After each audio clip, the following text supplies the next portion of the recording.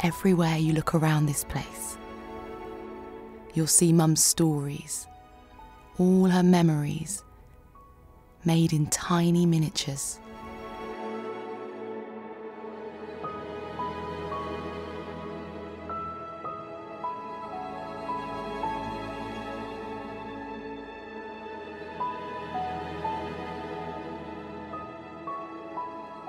I've got one last story to tell.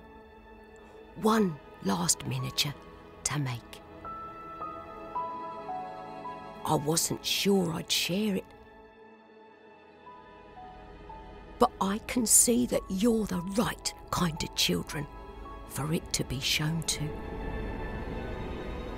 But I must warn you, this adventure will be the greatest test of your imaginations yet.